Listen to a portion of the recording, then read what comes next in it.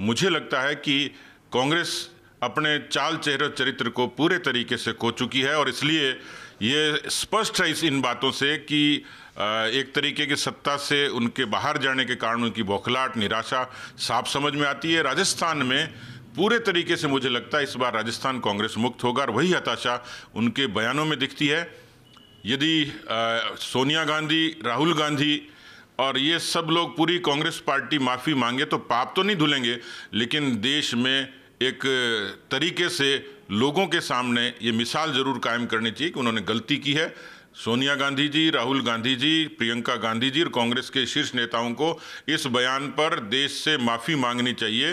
तो मुझे लगता है कि आ, लगेगा कि इस लोकतंत्र में कहीं ना कहीं उनके प्रति कोई सम्मान है कोई भावनाएँ हैं।